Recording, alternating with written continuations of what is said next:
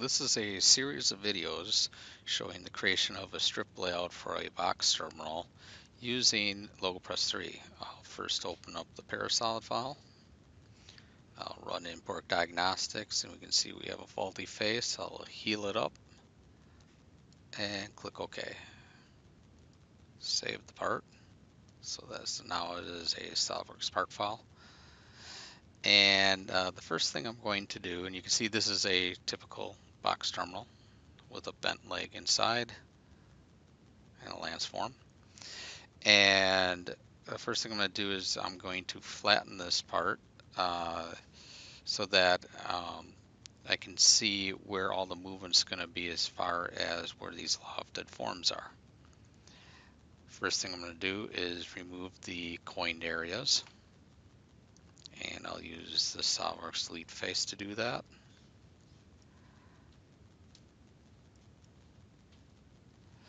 Then.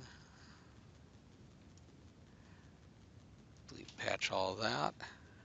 And then um, I'm also going to create a split a split the faces of the part down the center.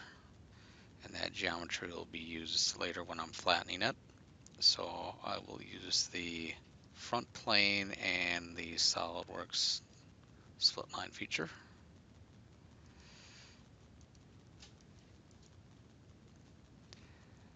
And to flatten this part, I will use the LogoPress 3 FEA portion of the software. I'll lock that vertex and then I'll also select these lines running down the middle or edges but these these edges I will unlock along the X direction and leave them locked in the Y, meaning they are allowed to move along the length of it, but not sideways. To keep the spine of the part straight as we're flattening it, I'll select the material, half hard,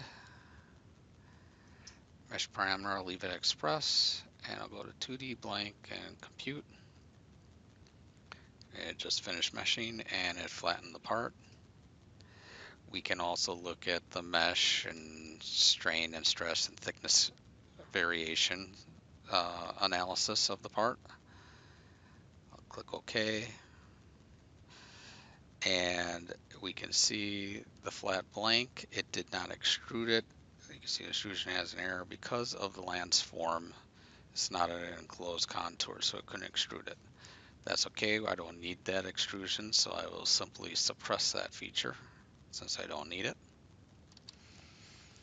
And we always work with the finished part, work our way back, uh, basically unbending or flattening certain areas to create the different stages. So I'll insert a station mark feature and name it according to the station of that of the strip.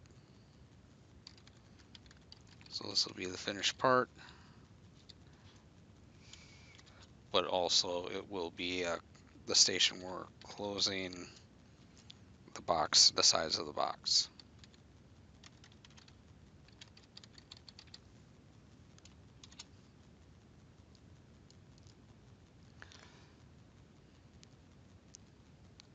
Then uh,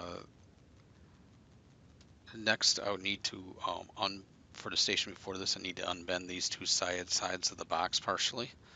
But first I need to split this into bodies. So I'm going to use the SOLIDWORKS split feature.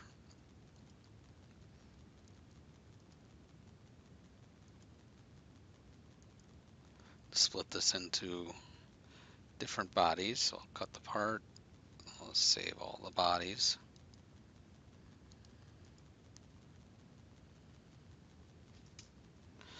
And uh, so now I am able to unbend these legs since it's not connected to this 3D complex lofted shape anymore.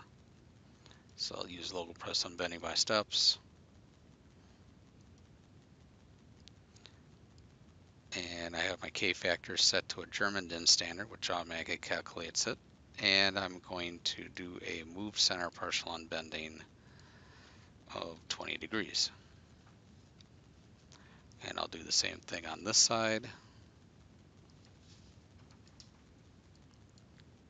20 degrees. And once I click OK, you'll see two legs are unbent partially. And I'll insert uh, a station mark here because this is a station of a strip and this is in this station. This is where uh, this leg right here, where this gets formed over, but it's in the relaxed state. So, because uh, we will put overbend on that leg when we do bend it. So this is, uh, let's call this leg relaxed. So it's uh, parallel to that bottom face.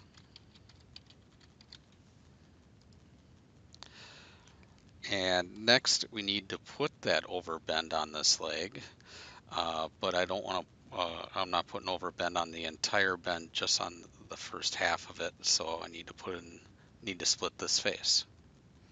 So I'm going to show my temporary axes and I'll use the top plane and this axis to create a reference plane five degrees. Show the temporary axis again. And so with this plane, I'll use that same split line feature to split this face. I can either split the outside or inside. And then I'll use LogoPress 3 unbending my steps. I'll select this face. K factor is already set. So I will uh, check this option, springback slash overbend, and I'll type in 5 degrees overbend. And you can see that the inside radius size changed from 034 to 032. When I click OK, it applies the overbend on it. And you'll see this is the relaxed state and then overbend 5 degrees. I can now insert another station mark. And this one will be called overbend 5 degrees. And that's the end of uh, this video in the series.